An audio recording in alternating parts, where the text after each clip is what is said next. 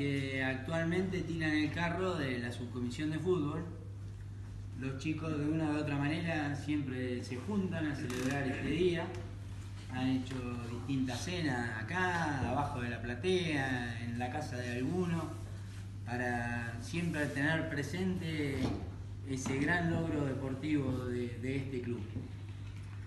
Y surgió ampliarlo un poco y que esto fuera una peña grande en el día de hoy, con el objetivo de recordarlo y también de tratar de plantar una semillita y ver el año que viene se cumplen 15 años y tratar de hacer algo en serio para celebrarlo, este, con, todo el mundo.